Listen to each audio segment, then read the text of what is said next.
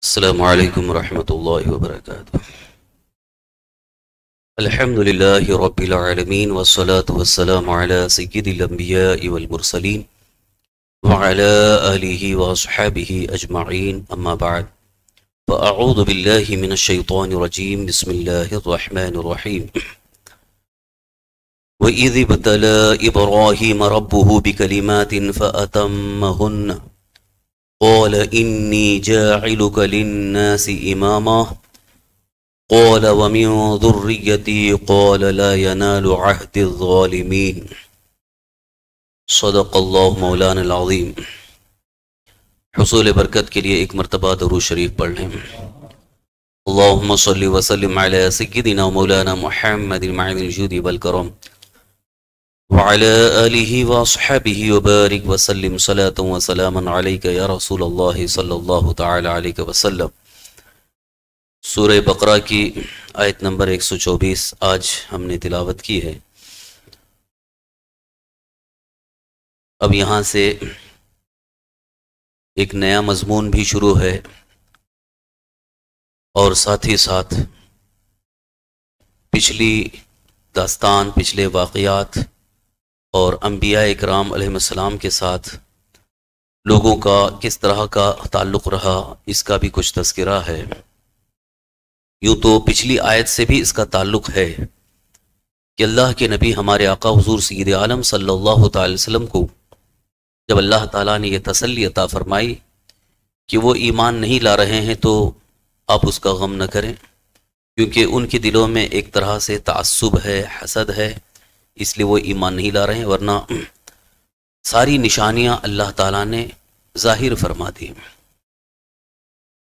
साथ ही साथ ये भी कौम बनी इसराइल को उस वक्त के जो यहूद नसारा थे, उनको एहसास दिलाया गया कि तुमको जो कुछ भी फजीलतें मिली हैं, वो पिछले अम्बिया कराम की औलाद से होने का एक तुम्हें शर्फ हासिल है, इसलिए तुम्हें नियामतें दी गई। लेकिन तुमने नाशुक्री इख्तियार की, यानी अल्लाह की इतात नहीं की। अल्लाह के रसूल सल्लल्लाहु अलैहि वसल्लम की इतात नहीं की। अब यहाँ से उन्हीं को फिर एहसास भी दिलाया जा रहा है और ईमान वालों को एक बहुत ही अहम चीज़ की खबर दी जा रही है कि अल्लाह ताला ने अम्बिया कराम की आजमाइश फरमाई आजमाइश इम्तिहान। व इदिब तला इब्राहिम रब्बुहु बिकलिमातिन। फ़अतम्महुन याद कीजिए, जब हज़रत इब्राहिम को उनके रब ने कुछ बातों से आजमाया तो उन्होंने वो पूरी कर दिखाई। यानी अल्लाह ताला ने हज़रत इब्राहिम अलैहिस्सलाम की आजमाइश फरमाई, इम्तिहान लिया। तो ये हज़रत इब्राहिम अलैहिस्सलाम ने उनको मुकम्मल पूरा कर दिया। जहन में एक सवाल ये आता है कि इम्तिहान अगर किसी का लिया जाता है तो कुछ जांचने के लिए। कि इनके अंदर कितनी कैपेसिटी है, इनके अंदर कितना इल्म है, कितनी सलाहियत है। जैसे इम्तिहान, तालब इल्म का इम्तिहान होता है स्टूडेंट का इम्तिहान होता है एग्ज़ाम जिसे कह रहे तो यहाँ कौन सा इम्तिहान अल्लाह ने लिया? हज़रत इब्राहिम सलाम का इम्तिहान किस तरह से हुआ? वो इजिब तला इब्राहिम, जबकि आजमाइश की इम्तिहान लिया उन हाँ हज़रत इब्राहिम का, उनके रब ने। इम्तिहान दो तरह से होता है। एक तो जांचने के लिए कि इनके अंदर क्या खूबी है, इनके अंदर कितनी सलाहियत है, कितना इल्म है, और इनको कितनी नॉलेज है, इसकी मुतालिक जानकारी के लिए इम्तिहान लिया जाता है। जब जो स्टूडेंट इम्तिहान देता है तो पता चलता है कि इनका इल्म कितना है, इनकी नॉलेज कितनी है। और एक इम्तिहान इस तौर पर जांचने के लिए होता है कि हमको तो मालूम है कि इनके अंदर कितनी कैपेसिटी है, इनके अंदर कितनी नॉलेज है, लेकिन अपनी हम बड़ाई ज़ाहिर करने के लिए भी इम्तिहान लेते हैं, ताकि सामने वाले को पता चले कि हमारे पास कितना इल्म है और हमारी सलाहियतें कितनी हैं। तो यहाँ अल्लाह तबाउ ताला का इम्तिहान तमाम नबियों के साथ और ख़ास तौर पर हज़रत इब्राहिम के साथ, वो इसलिए ताकि ये देखना है कि अल्लाह को इन्होंने रब माना है तो अल्लाह ताला पर इनका ईमान और यकीन कितना है? और फिर अल्लाह तबाक ताला की किबरियाई जब ज़ाहिर होगी, अल्लाह के को बरतर होने का उनका ईमान और यकान ज़ाहिर होगा, तब वो बंदों के सामने वो अपने ईमान को ज़ाहिर कर सकेंगे। क्योंकि बंदों की हिदायत के लिए उनको भेजा जा रहा है। तो इसलिए अम्बिया कराम का इम्तिहान हुआ। ख़ास तौर पर हज़रत इब्राहिम सलाम का इम्तिहान। अब ये भी देखिए कि इम्तिहान जब अल्लाह ताला की तरफ़ से होता है तो कई तरह से इम्तिहान होता है, कई तरह की आजमाइश होती है। अच्छी खासी हालत में है, अचानक हालत बिगड़ जाती है। अच्छी हालत में है और अचानक हालत बिगड़ जाती है, जैसे तंदुरुस्त है, तवाना है, सेहतमंद है, अचानक बीमारी आ गई तो ये भी एक इम्तिहान है। इसको भी इम्तिहान कहा गया। इसी तरह से खुशहाल हैं, दौलत है, माल है, सब कुछ अच्छी खासी चीज़ें हैं, लेकिन अचानक वो चीज़ें ख़त्म हो जाती हैं। आदमी सोचता रहता है कि ये चीज़ मेरे पास थी, लेकिन कैसे ख़त्म हो गए माल था, कैसे ख़त्म हो गया? दौलत चली गई तो वो इम्तिहान होता है। अल्लाह तबाक अपने बंदों का इम्तिहान लेता है। ख़ास तौर पर ईमान वालों का इम्तिहान होता रहता है। ईमान वालों की आजमाइश होती रहती है और जो ईमान वाले उस पर खरे उतरते हैं, यानी हर हाल में अल्लाह का शुक्र अदा करके, उस पर सब्र करके कायम रह जाते हैं तो फिर अल्लाह ताला या तो फिर फ़ौरन उनको जजा अता फरमाता है, या नहीं तो फिर उनको आखिरत में, यानी इंतकाल के बाद, दुनिया से जाने के बाद, उनको वहाँ ज़्यादा नियामतें दी जाती हैं। तो ये इम्तिहान की एक सूरत हाल है, इम्तिहान की एक नौीयत है। आज भी हम इम्तिहान के दौर से गुजर रहे हैं। आज भी अगर हम अपने हालात का अगर जायजा लेते हैं तो जितना हमारा ईमान है, उतनी ही बस हमारी आजमाइश हो रही है। अगर यूँ देखा जाए तो कोई सख्त इम्तिहान नहीं है। है इम्तिहान है, लेकिन पिछले अम्बिया इकराम और उनकी उम्मतों पर जो सख्तियाँ आई, तकलीफ़ें आई, परेशानियाँ आई, उनको अगर हम सुन लेते हैं तो बदन के रोंगटे खड़े हो जाते हैं। कैसे कैसे सख्त आजमाइश में डाला गया। मगर उसके बावजूद उन्होंने कभी ये नहीं कहा कि हम अल्लाह के बंदे हैं, अल्लाह की इबादत कर रहे हैं तो हमारे ऊपर मुसीबत क्यों है? बल्कि वो सारी मुसीबतों को गवारा किए, मगर फिर भी अल्लाह ताला पर उनका जो ईमान था, वो ईमान बाकी रहा। ईमान को नहीं छोड़ा। जैसे हज़रत इब्राहिम का इम्तिहान, कई इम्तिहान से आपको गुजारा गया। एक तो इम्तिहान वो भी था कि जब आपको अल्लाह ताला ने हुक्म फरमाया कि अपनी अपनी इकलौते बेटे और अपनी बीवी को वहाँ छोड़ करके चले आओ, मक्का शरीफ। बाबुल से मक्का शरीफ आए। उस वक्त, अभी आज जो मक्का की सिचुएशन है, वो तो बिल्कुल बहुत अच्छी हालत में है। उस वक्त जब हज़रत इब्राहिम सलाम आए थे दूर दूर तक कहीं कोई मकान नहीं है। दूर दूर तक कहीं कोई पानी का नाम निशान नहीं है। सिर्फ़ पहाड़ हैं, सहरा है और उस जगह पर हज़रत इब्राहिम सलाम आए, अपनी बीवी हज़रत हाजरा और अपने इकलौते बेटे हज़रत इस्माईल सलाम को लेकर के और वहाँ आए, रुके। खान वहाँ पर फिर आप उनको वहाँ छोड़ करके चले गए। अब आप सोचिए कि एक इंसान को बीवी से मोहब्बत भी होती है, बेटे से मोहब्बत होती है, वो भी बेटा हज़रत इस्माइल, जो आपको काफ़ी लंबी उम्र के बाद मिले। काफ़ी लंबी, तकरीबन एक रिवायत के मुताबिक नब्बे साल की उम्र हो गई थी, हज़रत इस्माइल पैदा हुए। तो जब किसी को एक औलाद हो, और वो भी बड़ी मन्नत समाजत के बाद, बड़ी आरजुओं के बाद तो वो कितना वो महबूब होता है, कितना प्यारा होता है, लेकिन अल्लाह ताला ने इम्तिहान लिया कि जाओ अपने बच्चे को वहाँ छोड़ के आओ। तो हज़रत इब्राहिम ने ये नहीं देखा कि ऐसे जंगल और सहरा में जहाँ किसी का कोई नामो निशान नहीं है, न कोई आबादी है, वहाँ मैं कैसे छोड़ के आऊँ? लेकिन अल्लाह का हुक्म था, छोड़ करके जा रहे। लेकिन जैसे ही आप जाने लगे, वो भी कितनी नेक बंदी है, हज़रत हाजरा रदी तहा पूछती हैं कि हमको यहाँ छोड़ करके जा रहे हैं? न पानी है, न आबादी है, कोई है नहीं हम। तो पूछा उन्होंने, क्या अल्लाह का हुक्म है? तो हज़रत इब्राहिम फरमाते हैं हाँ अल्लाह का हुक्म है। तब हज़रत हाजरा ने कहा, अगर रब का हुक्म है तो हम सब्र कर लेंगे। तो वहीं पर आप अपने छोटे से बच्चे को लेकर के हज़रत हाजरा वहीं पर मौजूद हैं और इधर जब बच्चे को पानी की प्यास और खुद भी आपको पानी की ज़रूरत महसूस हुई तो आप ढूंढ रहे हैं पानी नहीं मिल रहा है। तब हज़रत हाजरा ने देखा कि दूध भी सूख चुका है। बच्चे को दूध भी नहीं मिल रहा है। अब पानी तो कम से कम चाहिए। तो उधर से आप वहीं करीब में छोटी सी पहाड़ी है सफ़ा। वहाँ से ऊपर चढ़ करके देखते हैं कहीं पानी दिख रहा है क्या? कहीं पानी नहीं। वहाँ से फिर दौड़ती हुई मरवा पहाड़ी पर गई वहाँ जाकर के देखी पानी नहीं। इस तरह आपने सात चक्कर लगाए। और फिर जब इधर सफ़ा के करीब आए देखे जहाँ हज़रत इस्माइल अलैहिस्सलाम के कदम जो एड़ियाँ रगड़ रहे थे बच, बच्चा जब रोता है तो एड़ियाँ रगड़ तो उसी जगह पानी का चश्मा निकला। उसी जगह पानी का चश्मा निकला तो हज़रत हाजरा ने देखा रहे यहाँ तो पानी का चश्मा निकला। फ़ौरन दौड़ती हुई आई और मिट्टी को उन्होंने जमा करके रोकने के लिए कहा, जम जम। उनकी जबान में जम जम का मतलब रुक जा रुक जा। तो हज़रत हाजरा ने जब जम जम कहा तो वो पानी वहीं पर रुक गया। आज जो आब जमजम का जो कुआँ है, वही है, जहाँ हज़रत इस्माइल सलाम के कदम और उनकी एडी की रगड़ से जो पानी का चश्मा निकला, वो उस वक्त से लेकर आज तक वो चश्मा बाकी है।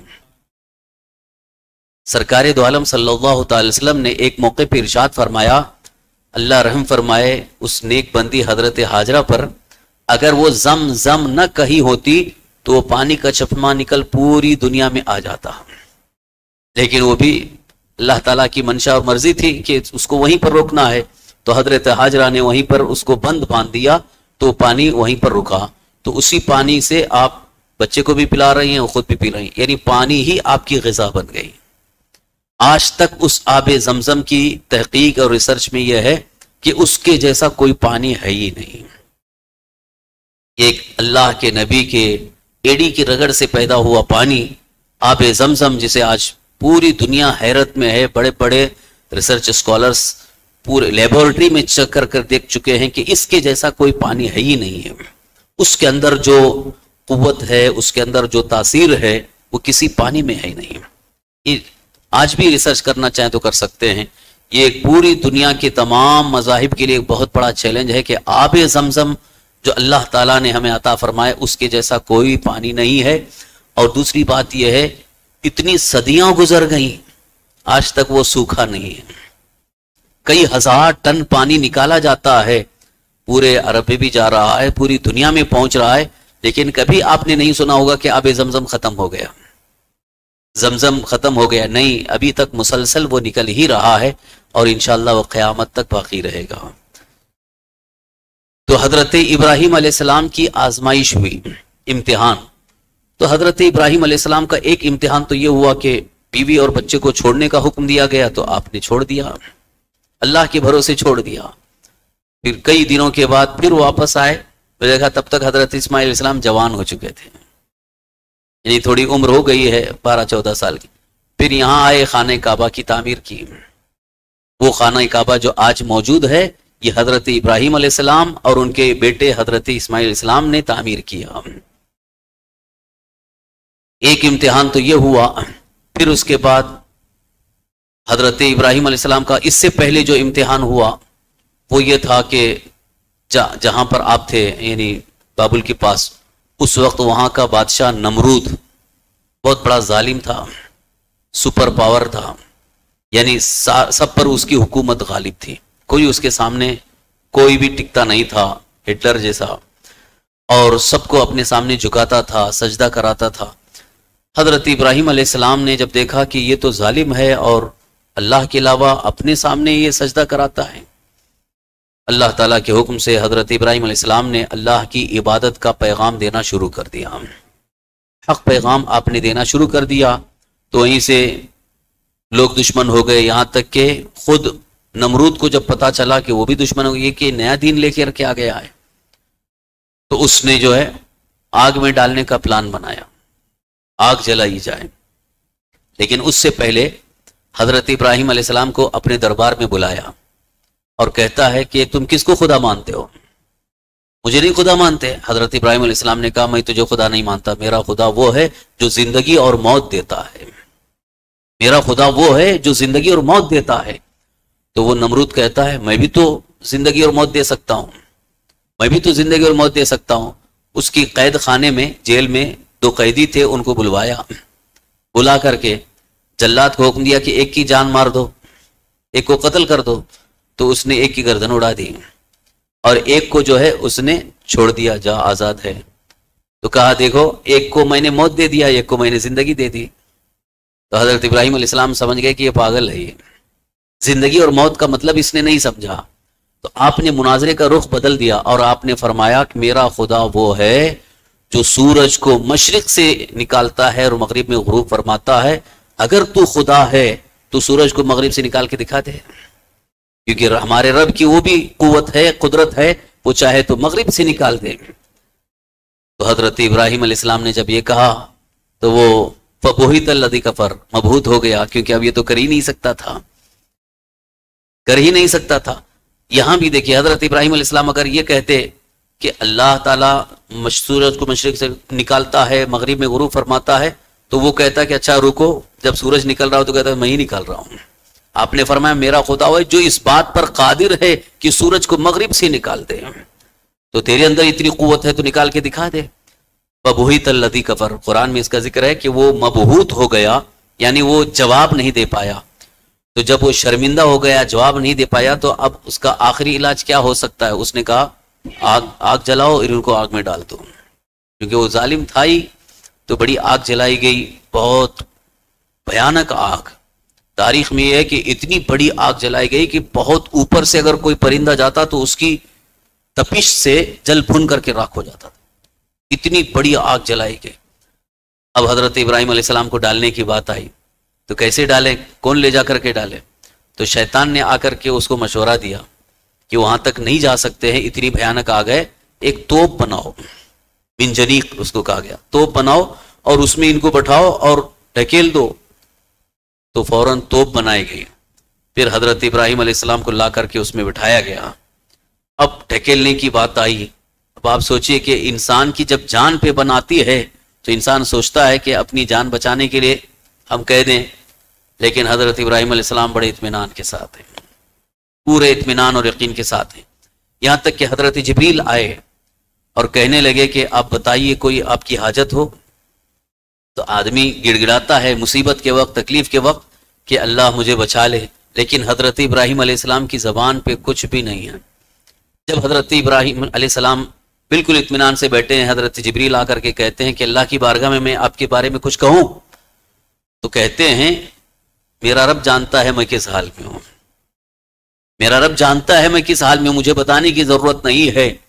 इत्मीनान से बैठे रहे। जब आपको इधर से ढकेला गया, सीधे आग में गए तो वो आग आग न रही, बल्कि गुले गुलजार बन गई। क्योंकि अल्लाह ताला का हुक्म हुआ, कुलना या नारू कूनी बरदों सलाम इब्राहिम। ए आग, मेरे इब्राहिम पर ठंडी और सलामती वाली हो जा।